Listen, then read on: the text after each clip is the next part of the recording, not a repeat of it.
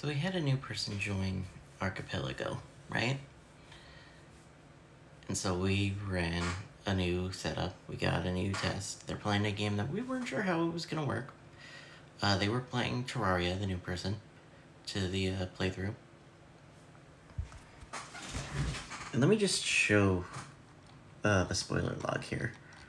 So everything looks fine. Everybody's got their, their stats and stuff. Um, there's mine. Let me get to the actual, um, actual spoiler log, yeah? Locations. And this includes all of the, uh, stuff that stayed vanilla. You have a bunch of stuff from Garbage. Bunch of stuff from, uh, Klondike. Some stuff uh, who's next? Some stuff from Leg. And then there's Palu with his Sonic Adventure. Sonic Adventure is a pretty heavy game. And then we get to Spooky, right? And now we're at a minute 20 seconds of this recording. And this is all still spooky.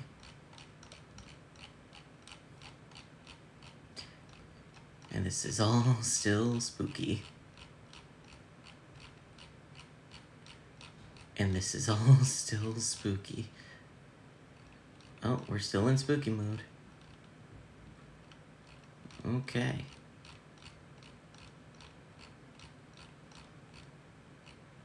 And this is all still spooky. Nope, we're, okay, and then we're finally to me. Which, by the way, my Kokiri sword was vanilla. Anyway, uh, we did the, the, the math on that, and it turns out he had like 1,700 checks more than anybody else. So, uh, it was real bad. It was real, real bad. I'm glad that we got it all sorted out now, for the most part, on what needs to be, uh, fixed. But, jeez. I'm glad that we didn't, like, all, like, sit there playing until everybody finished. And only just played around a little bit, and then there's a command to send all of your checks to people, probably for if you have to either drop out or finish the game or whatever. Um, but jeez, that, that, that was bad. that was real bad. hopefully it doesn't uh, remain that bad in the next run. The like the, the main run, the one that we're gonna stream. So you see I have a video done here.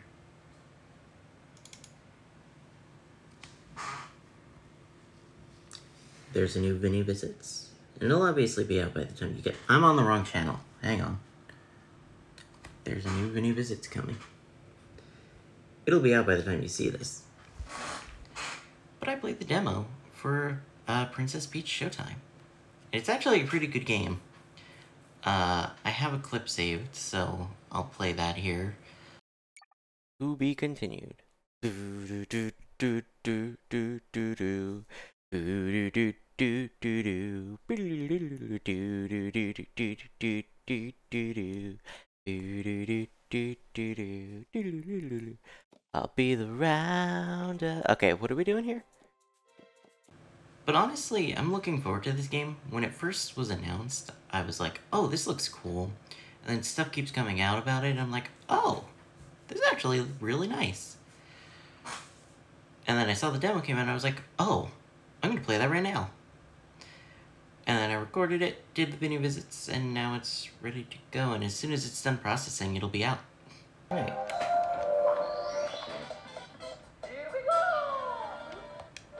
Cool. So, back when I, um, back when, uh, N64 came to Switch Online, I started playing through Super Mario 64. Uh, originally, it was a 16-star run, and then I figured, you know what, let me 100% the game. And every once in a while, when I don't have anything else to play, I'll boot it up, grab a couple stars, and, and then I'm like, okay, you know what, I'm almost done. Let me just finish this off. I had less than 10 stars when I started. Or less than 10 stars left when I started. Uh, today. So, that was my last star. And I feel a lot better. So now I'm gonna go beat Bowser and then add it to the list of games for the for the year. But uh you don't have to binge a game straight through. You could just chip away at it occasionally, especially if it's something you've played before. And this is a nice reminder of that. So I'm gonna keep this brief because I don't really have a ton to say because it's not as big for me as it is for Ben and Patrick. Um, today we got the news that the creator of Dragon Ball, Dragon Ball Z, Dragon Ball GT, and Dragon Ball Super um, passed away. he, um,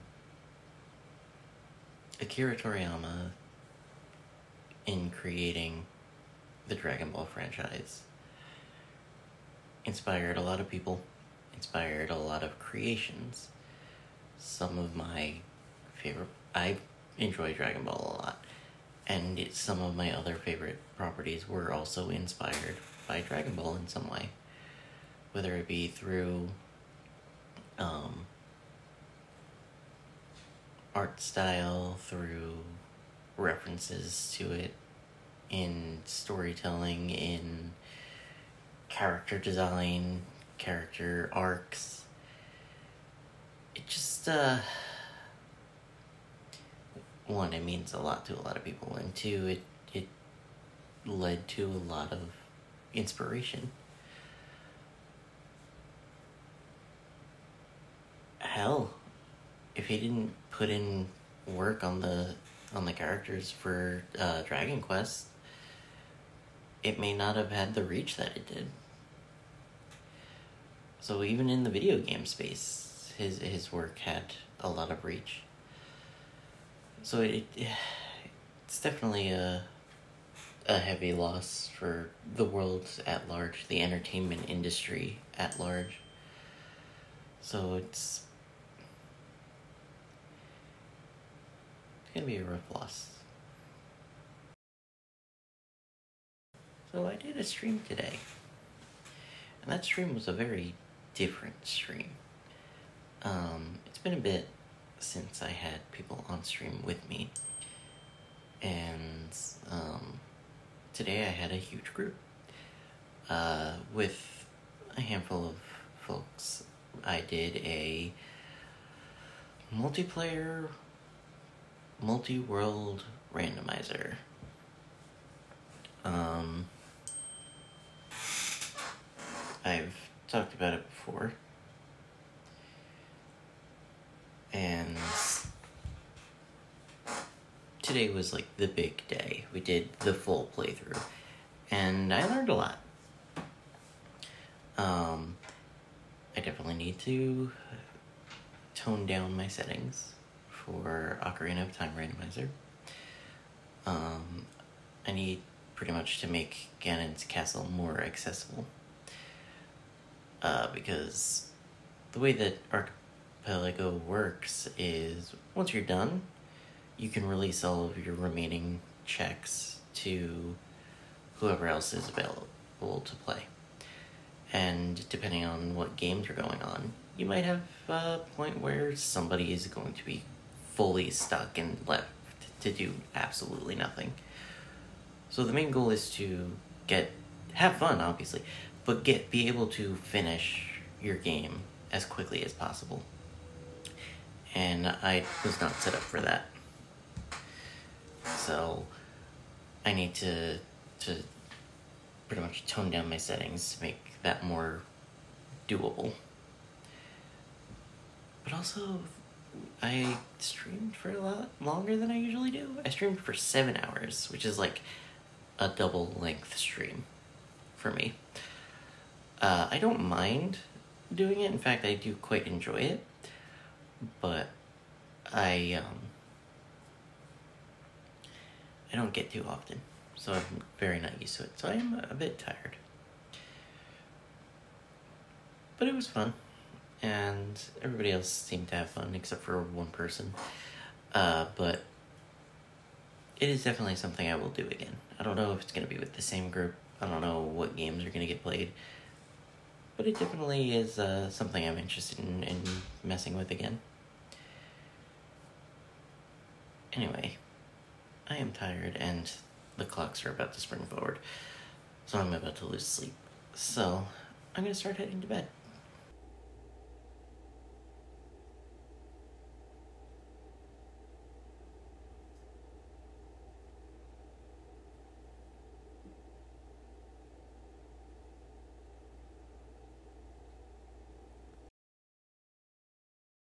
I got a thing today. This screwdriver. And you might ask, what is this screwdriver for? It's for this, which I have from one of my coworkers. He had asked me to take a look at it because this button is working fine. This button is stuck. So he asked me to open it up and see if I can get it working. Also, he was having trouble where it was crashing randomly. So I figured I would see if I could figure that out as well. Okay, I got most of the screws out and the battery out. So I just gotta do these last few things and then I can open it up. This is for the cartridge slot and these are for the outer shell. And here's the battery. Okay, I got it open, right? And I'm looking at it. And it does definitely need cleaning. The focus is not cooperating. That's not the focus. This is the focus. Okay, so then let's zoom. So, you can see that this is now pressing, but it definitely needs to be cleaned. So let me grab something to clean it with. Alright, I cleaned it up a little, and now I'm gonna clean... I should have cleaned the shell before I put it back on, but uh, it's fine. I'll clean it now but otherwise it should be good. So I got it all together again. And some of the time it doesn't read cartridges. So you see I have LeafGreen here. And I have a file that's pretty early on, so there's nothing like in the save file that could have messed with it. But all I'll do is press D-pad right. Hmm, maybe not. Maybe only while I'm holding? So what was happening was that I would hit D-pad right and the game would crash. There you go.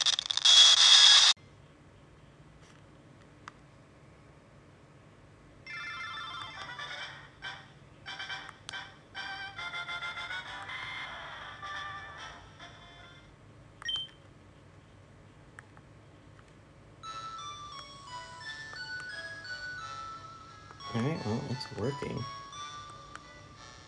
At least it seems to be.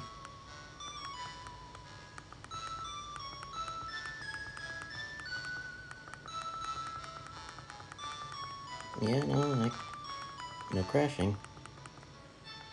Okay. And the L button is not stuck.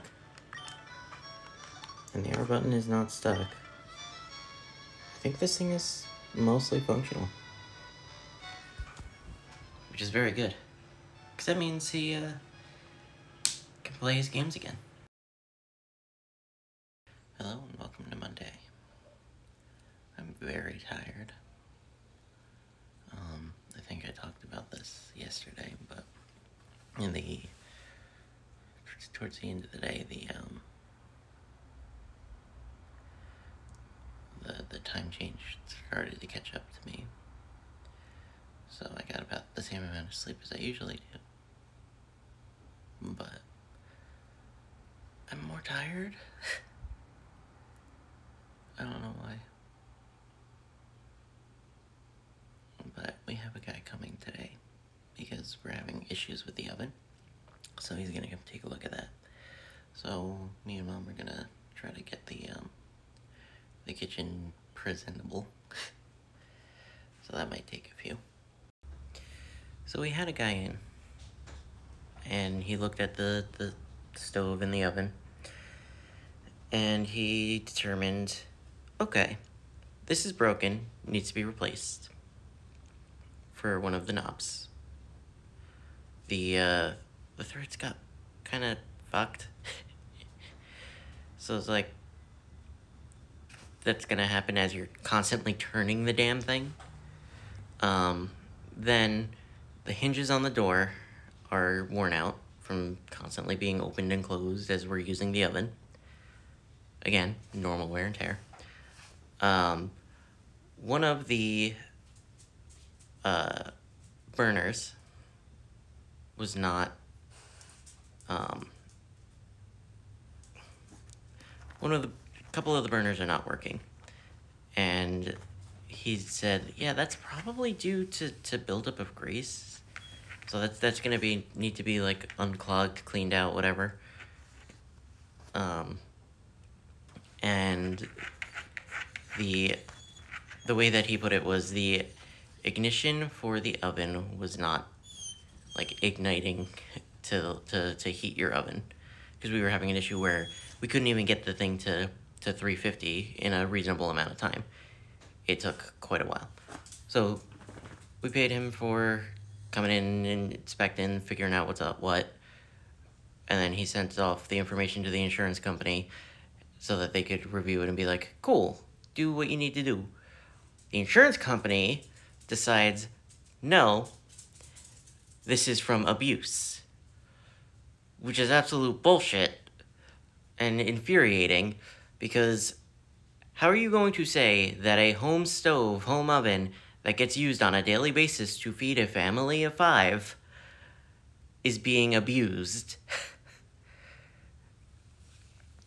like, if we, like, smashed in the door, maybe or or like shattered the knob, but it's not the actual knob itself. It's the threads holding it onto the thing. Uh, so we appealed and we're waiting to hear back. But this is fucking infuriating because how are you going to say again again how are you going to say that a thing going through normal wear and tear normal use is being abused why, why do we have this insurance if they're going to say, uh, no, fuck you, the first time we have any actual issues with one of our appliances. So I'll keep you updated on, on how this goes, but this is like, oh, I'm, I'm like shaking in anger right now. I spent the last few hours trying to sleep, finally start to fall asleep and have a weird dream, and wake up and in the time that I've been sitting here, laying here, since I woke up, I realized I never ended the vlog. Um, I'm just gonna stream, work tomorrow 5 a.m. Tired. Towards the end of the day, I was like, feeling very lethargic. Not like fevery or, or like sick-y, but definitely very lethargic. And that's confusing and concerning because, like, I don't know what's causing it. So I tried to lay down to get a little bit of extra sleep, and uh, I had a weird dream. And I woke up and my heart was racing. So I'm like, hmm, whatever happened in that dream because I, I do remember, like, the general outline of it. But whatever happened in it very much confused me. And then was like, huh? And then, like, panic and whatever.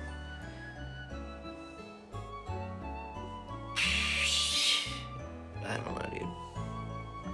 Anyway, I do have to go back to sleep, but I wanted to end the vlog.